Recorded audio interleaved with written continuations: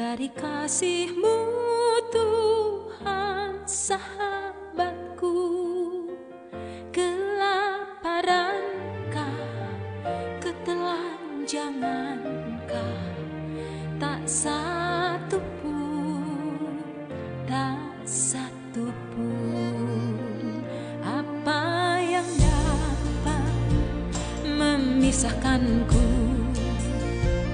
dari kasihmu Tuhan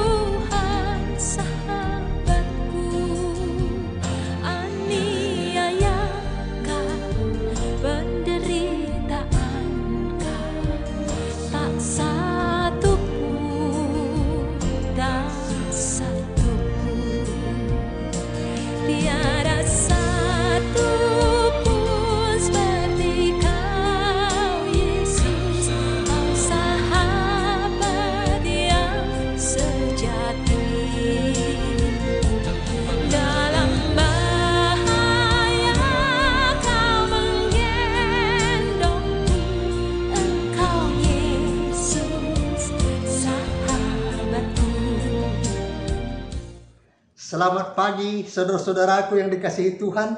Puji Tuhan. Luar biasa teks kita pagi ini yang mengingatkan bahwa penderitaan kita akan membuka peluang untuk semakin mengalami kasih Allah. Sebelum kita membaca dan merenungkan sabda Tuhan, kita satu dalam doa. Terima kasih ya Bapa atas kesempatan indah di pagi hari ini. Dimungkinkan semata hanya oleh belas kasihan Tuhan. Biarlah kinerja serta karya kami sepanjang hari ini merupakan ekspresi keyakinan iman dan firman Tuhan tetap menjadi pelita bagi kaki kami dan terang bagi jalan kami.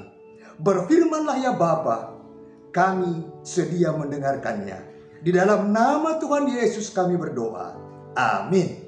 Saudara-saudaraku, firman Tuhan yang menjadi perenungan kita di pagi hari ini dari Roma 8 ayat 35. Siapakah yang akan memisahkan kita dari kasih Kristus? Penindasan atau kesesakan atau penganiayaan atau kelaparan atau ketelanjangan atau bahaya atau pedang. Tema yang akan saya pakai Tuhan sumber kekuatan dan kehidupan kita. Saudara-saudaraku, Rasul Paulus dengan gaya pertanyaan retoris yang tidak memerlukan jawaban memakai tujuh istilah yang mencakup seluruh pengalaman hidupnya. Di balik retoris ini ada janji di mana ketujuh poin derita yang luar biasa tersebut tidak akan memisahkan dari kasih Kristus. Yang pertama, penindasan. Penderitaan jemaat Roma yang mengalami tekanan karena harus menyembah Kaisar Nero sebagai Tuhan. Dua, kesesakan. Kesedihan karena ejekan dari ateis yang melihat orang menjadi Kristen. Tiga, penganiayaan. Lebih ke fisik. Yang dibunuh bahkan dibakar hidup-hidup. Meski mati demi Kristus, percayalah akan dibangkitkan. Sesuai khotbah Yesus, Matius 5:10. Berbahagialah orang yang dianiaya oleh sebab kebenaran karena merekalah yang empunya kerajaan sorga. Keempat, kelaparan. Sisaan bukan hanya fisik, tetapi soal perut kosong. Namun ingat, Kristus roti hidup yang mampu mengenyangkan dengan berkat rohani bernilai kekekalan ketimbang roti jasmani yang sifatnya sesaat. Kelima, ketelanjangan. Ternyata bukan hanya soal perut kosong, tetapi kekurangan pakaian. Minimal saudaraku, ada tiga fungsi utama pakaian. Melindungi tubuh dari terpaan panas dan dingin yang mengganggu kesehatan. Menutupi kekurangan agar tidak terlihat orang lain. Dan memperindah penampilan agar terlihat nyaman dan mempesona. Keenam, bahaya. Memang Paulus mengalami ancaman bahaya yang luar biasa. Kapal kandas dan tenggelam. Ketujuh, pedang. Pada prinsipnya sama dengan perang. Meskipun saudara-saudaraku, perjalanan hidup ibarat melewati bayang-bayang maut. Sesuai tema kita, Tuhan sumber kekuatan dan kehidupan kita. Tuhanlah sumber damai sejahtera. Saudara-saudaraku, beberapa waktu lalu santer teologi kemakmuran yang menjanjikan kehidupan yang nyaman dan enak di dunia ini. Indikatornya kaya, sehat, sukses, populer, dihormati dan lain sebagainya. Namun Paulus bersikap lebih realistis.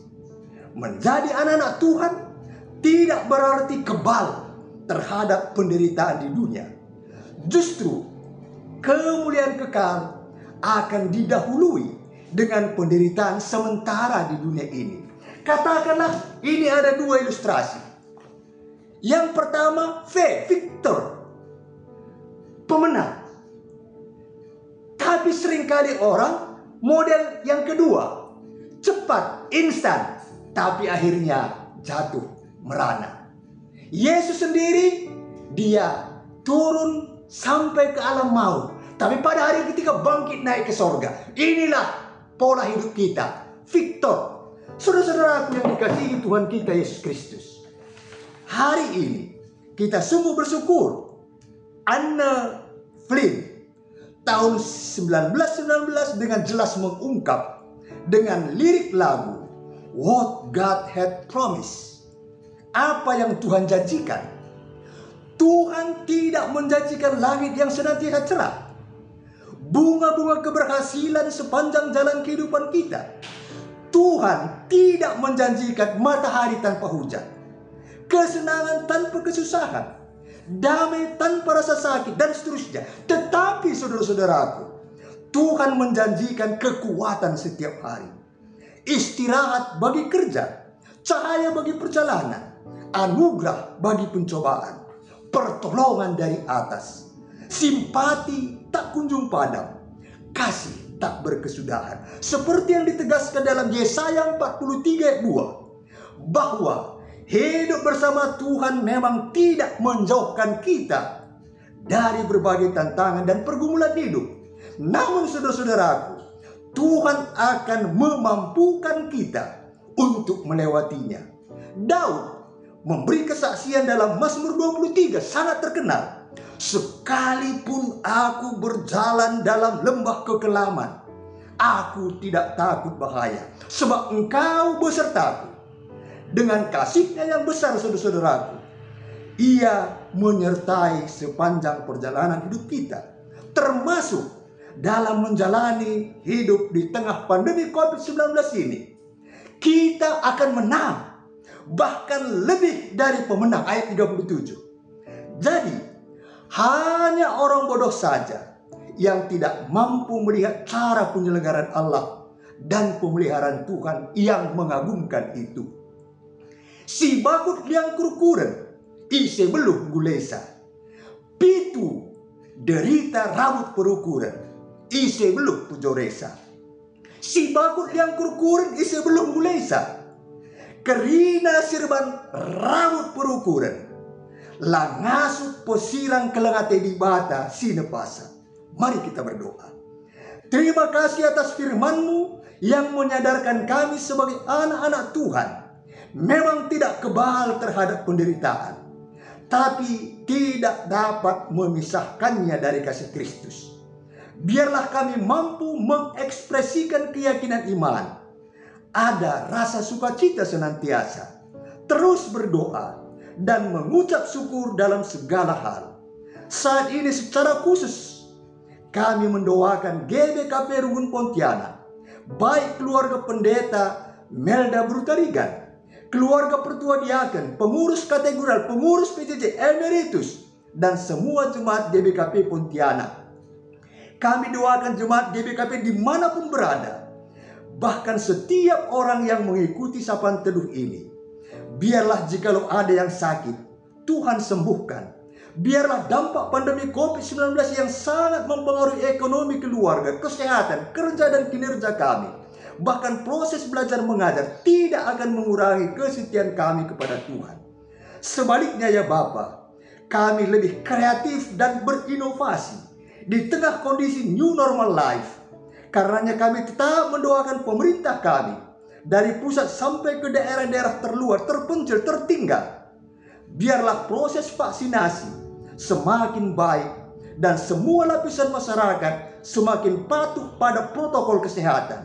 Di dalam nama Tuhan Yesus kami berdoa. Amin. Salam sehat, damai di hati, mejuah-juah kita kerina.